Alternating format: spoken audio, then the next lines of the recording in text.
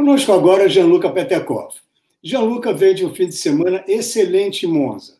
Não houve nenhuma vitória, mas em todas as três corridas ele esteve à frente de seu maior adversário, ou melhor, seu único adversário na luta pelo título, e retomou a liderança do campeonato da Fórmula 3 Regional Europa.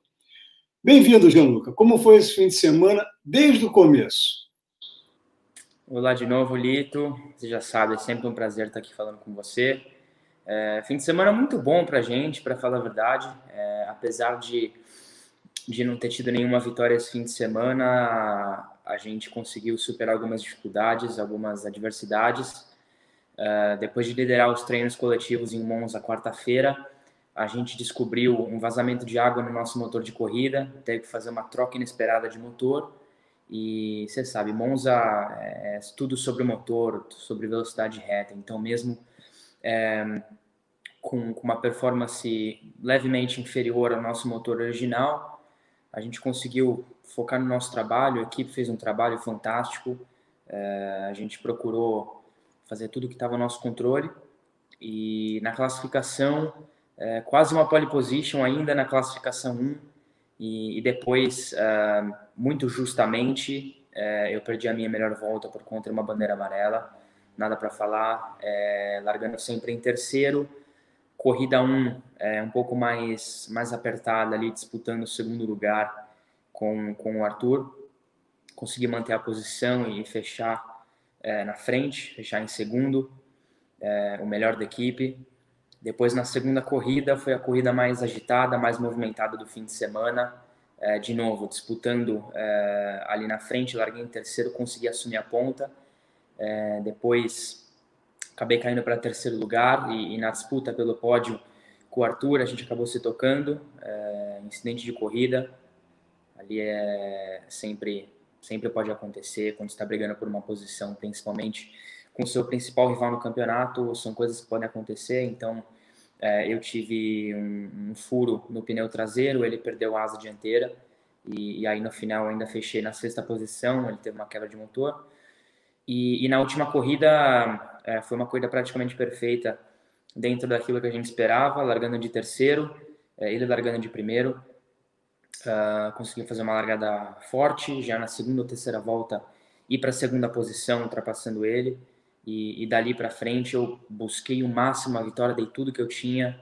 Carro, o chassi estava perfeito, e mas faltou pouco, a gente fechou na segunda posição de novo. Muitos pontos, voltando à liderança do campeonato é uma ótima, um ótimo começo da segunda metade. Agora, surgiu um novo adversário, né? O Patrick Pasma teve praticamente inalcançável no fim de semana, é, teve na frente em todas as corridas, não levou a primeira por causa de um erro na, na, na relargada com o, o carro de segurança, mas ele afeta de alguma forma a luta entre você e o Leclerc nessas. Faltam agora três rodadas, né, que são nove corridas. Ele afeta de alguma forma ou esse acerto melhor dessa equipe é, finlandesa, né, KIC, é, é só uma coisa de, de para Monza, uma coisa pontual? Como você vê esse surgimento desse novo adversário? Nas últimas etapas, é, tanto o nosso outro companheiro de equipe, o Oliver Rasmussen, é, quanto a KIC também tem, tem melhorado muito, tem começado a disputar poles e vitórias com a gente. É, essa é a equipe que o Vips correu algumas etapas esse ano. Ele não estava lá esse fim de semana, mas eles mostraram a força deles. É, com certeza Monza foi uma pista onde eles acharam algo de especial. É, o Pasma foi muito rápido desde os treinos até, até o fim, entendeu? É, era para ele ter levado as três corridas, aí depois um erro, uma penalização na segunda corrida tirou ele da vitória, mas é, realmente esse fim de semana eles estavam um passo à frente. E, claro, viram, viram novos adversários ao título. Uh, agora, se eu não me engano, uh, o Rasmussen está por volta de 50 pontos atrás de mim. Uh, e, e, o Pasma, não sei exatamente a diferença, mas vem forte, vem embalado. Então, o principal objetivo agora é focar no nosso trabalho e, e começar né, voltar a marcar mais pontos que todo mundo. Indo para Barcelona agora, uma pista, uma pista mista, tem, tem uma reta bem grande, tem curvas de alta, curvas de baixo, é, diversos pontos de ultrapassagem. Então vai ser uma, um bom teste para ver onde a gente está de volta e, e uma disputa muito, muito relevante, muito representativa. Agora, quanto a esse fim de semana, eu não sei, assistindo as corridas, me deu a impressão que o Leclerc não estava no seu melhor momento como piloto. Né? Ele teve alguns erros, ele demonstrou um certo nervosismo, inclusive o, o, o narrador italiano comentou muito sobre isso. Você sentiu essa mesma coisa? Faltou um pouco de, de frieza da parte do Leclerc? Porque na hora que você, você falou que vocês se tocaram, na verdade, ele te tocou por trás, numa situação que ninguém poderia sair bem. Você teve um pneu furado, ele teve uma asa é, dianteira é, quebrada, quer dizer, precisou, vocês tiveram, foram salvos pelo carro de segurança, porque os dois tiveram que parar nos boxes, mas ele me pareceu um pouco fora do padrão normal dele. O que, que você acha? Realmente, esse fim de semana, é, para ele, não, não foi dos melhores. Eu, de fora, não consigo é, não consigo dizer muito sobre o que ele estava pensando ou como ele, como ele reagiu. É, acho que depois de daquele fim de semana de Mugello foi excelente para ele, né? Vindo na liderança do campeonato, sempre muda algumas coisas. É, eu percebi ano passado e esse ano é sempre mais fácil você tá atrás e tá perseguindo alguém do que tá sendo perseguido, né?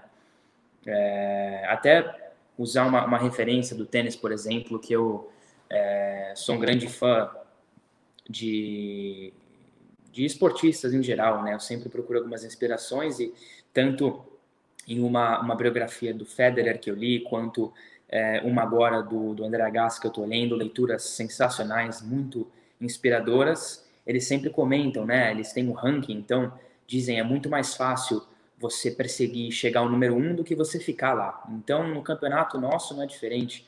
Sempre é mais fácil você tá, tá perseguindo alguém, né? Tá sem aquela pressão de ser o líder do campeonato, é, do que em fato, de fato você ser. Então é, eu sei da minha parte o quanto eu queria voltar a essa posição. É, sempre adorei estar é, tá numa posição de responsabilidade, numa posição de, de pressão e, e poder entregar o resultado. É, tenho certeza absoluta que em Mugello é, teve algo do nosso lado que não funcionou, mas em condições iguais eu sempre dou meu máximo. Muitas vezes eu, eu consigo ser o melhor, ser mais rápido, depois de muito trabalho, com certeza, dentro e fora da pista. Então, é, eu sei que do meu lado eu procurei fazer tudo o que eu podia, mesmo com algumas dificuldades, e em quase todos os momentos consegui é, tá um pouco na frente, chegar as corridas na frente e fazer mais pontos. Então, o importante agora vai ser continuar esse trabalho e manter, manter a liderança sempre. Bom, é, daqui para frente, é, mais nove corridas, 225 pontos, é, três pistas que você já conhece: Barcelona, Imola e Valelunga.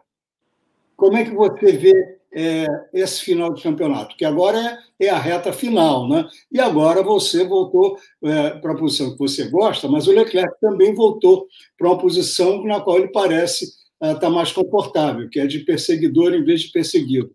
Como é que você vê essa reta final? Eu acho que vai ser muito muito interessante, muito agitado, claro. A disputa vai ser perto, perto até o final, vai ser bem apertada. É, essas três pistas, Imola e Valladolid, pistas eu conheço muito bem. Já corri é, diversas vezes lá na Fórmula 4 é, e vários testes também, então são pistas que eu, é, que eu me sinto bem. É, Barcelona, uma outra pista muito boa para nós, gostei muito dos testes que a gente fez lá no fim do ano, é, já no carro da regional, e mas uma pista que eu ainda não corri, então vai ser vai ser nova para mim, mas acho que também nova para todos os outros. Então, é, condições iguais, é, o nosso objetivo não muda, o objetivo é sempre vitória, independente do resultado final. Acho que o trabalho tem que ser feito mirando a vitória. Né? Acho que qualquer piloto que no começo do ano disputando um campeonato, é, principalmente nas categorias de base, não tem o título como objetivo, é, pode arrumar as coisas e voltar para casa. Né? Acho que o trabalho, o foco, a motivação tem que ser sempre para fazer o melhor e, e para vencer. Então, esse é o nosso objetivo de novo. A gente sabe das dificuldades do trabalho e do esforço que a gente vai ter que colocar uh, para chegar lá, mas eu tenho total confiança na equipe, nas minhas próprias habilidades, no meu próprio esforço. para acontecer isso. E, e vamos lutar até o final.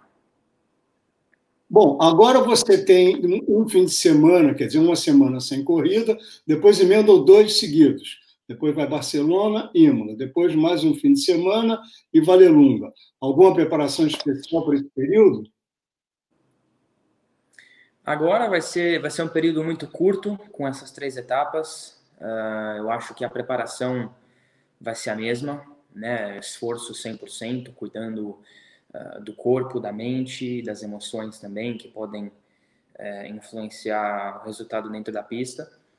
Mas o importante é estar preparado para tudo, né? Preparado para todas as condições, preparado para todas as situações que podem acontecer e estar tá esperando o melhor de todos sempre. Então, tá esperando é, o melhor da, dos meus companheiros de equipe, tá esperando o melhor é, da, da, equipe concorrente a KIC agora, é, tá preparado para isso. Né? Eu estou contando que todos eles vão estar tá, né, no pico da performance para essas três etapas e, e eu vou fazer de tudo para estar tá no meu pico de performance também.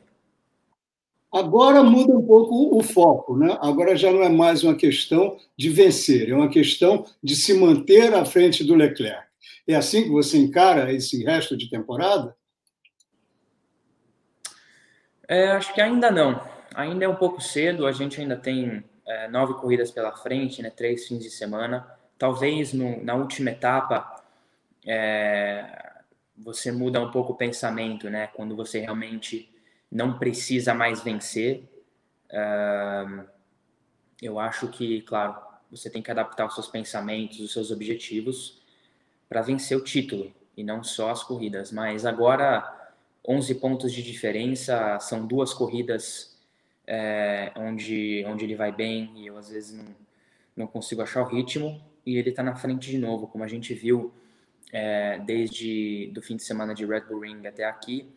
Eu fui de 5 pontos na frente para 22 pontos na frente. Depois, em um fim de semana, já caí para 8 pontos atrás. E um outro fim de semana já fui para 11 pontos na frente. Então, o importante é manter uma regularidade e, e o que eu disse, sempre brigar pela vitória, focar na vitória. É, no fim do dia, a melhor defesa é o ataque. Então, com muita, claro, cabeça e, e foco, a gente vai manter essa linha. Bom, um assunto agora que muita gente andou perguntando é Fórmula 3 FIA.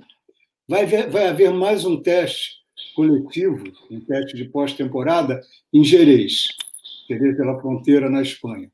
É, você tem algum plano para esse teste? Você está pensando? Você está incluído? Ou, por enquanto, só interessa a categoria que você está disputando agora, a Fórmula 3 Regional Europeia? O principal foco é, a preparação toda tem sido para o meu campeonato, para o fim do campeonato da Fórmula Regional. É, ainda nenhum plano, é, provavelmente é, eu não vou, não vou participar desse teste em Jerez, é, justamente por, pelo fato de, de a gente estar tá totalmente focado em terminar o campeonato forte, vencer o título e aí sim ter boas oportunidades para o ano que vem.